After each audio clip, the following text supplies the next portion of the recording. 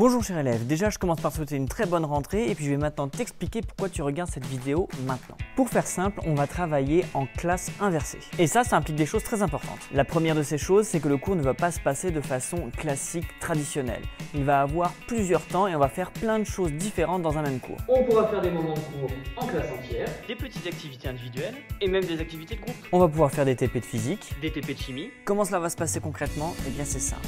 À chaque fois que je demanderai, il faudra venir regarder une vidéo de cours ici sur cette chaîne. Il y aura à chaque fois un petit travail à faire avec cette vidéo. Dans un premier temps, juste la regarder, t'abonner à la chaîne et évidemment mettre un pouce en l'air, mais surtout remplir ce qu'on va appeler une fiche de mémorisation, on en reparlera plus tard. Il faudra aussi lire le cours écrit qui sera avec et ne pas hésiter à aller compléter avec ce qu'il y a dans le livre. Ensuite, en classe, on fera différentes activités qui seront reliées directement à cette vidéo et des exercices. Et tu ne repartiras à la maison qu'avec des choses que tu auras déjà vues en classe. Cela veut dire qu'il n'y aura jamais de devoirs sur des choses La première confrontation aux exercices aux difficultés, on la fera ensemble en classe. Voilà pourquoi on parle de classe inversée. Mais attention, cela exige de toi certaines choses. Évidemment, si tu ne regardes pas la vidéo, en classe, il n'y a pas de cours, donc c'est fini. Deuxième chose, et peut-être une des plus importantes, en classe, il ne faut pas être passif. Vu que les principales étapes de recherche se font en classe, si on les loupe, et bien après, c'est très difficile. Et enfin, il va falloir être assidu, c'est-à-dire travailler tout au long de l'année de cette façon-là, sans jamais en faire plus, mais il faudra quand même faire le minimum. On récapitule.